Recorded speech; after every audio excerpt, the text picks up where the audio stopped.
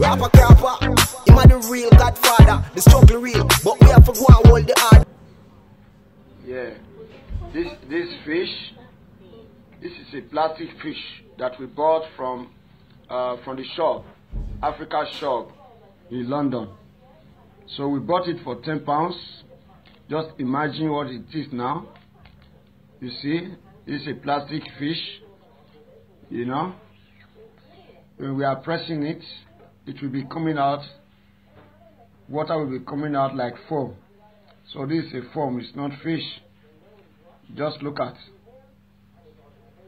Just look at. You can see it. You see? Do you see a plastic fish? You see it? Do you see a plastic fish? Yeah. Okay, Do you see a somebody see plastic fish? You see? You see? Please, uh, I would like you to send it to any contact you have as I'm sending it to you. Make sure whatever you buy to eat, check it very well before you use it to cook. If we have not seen this thing and we start cooking it and you put it and start eating it, who knows what would have been in our stomach. So imagine if you eat a plastic in your stomach, what will be? Please, these people that are selling deadly things to the whole world now to kill people, may the Lord God judge them by fire and by thunder.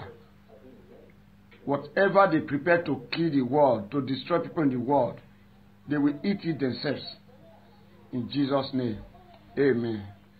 I don't really think this fish is a plastic fish. This fish remind me of this of one of the type of starfish they have over here in the UK.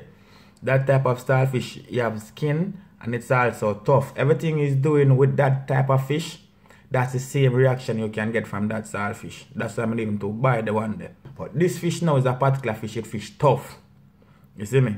And you have to tear it. Get it loose apart. You have to rip it up and tear it up. So I've never done a research what kind of fish it is, but um, it's a legit fish though. Yeah. And I know plastic or not growing and it's a legit fish. But the reason I mentioned the starfish because that's the only fish I've see, seen that match the texture and I and do everything where you, where you see. Him literally there as well though. You see me? So no, and a plastic fish. But don't get me wrong still, you know. Plastic fish is out there. Yeah, man. If you got ties or us or one of them ties store there, you find whole heap of plastic fish. The plastic fish on this occasion wasn't real.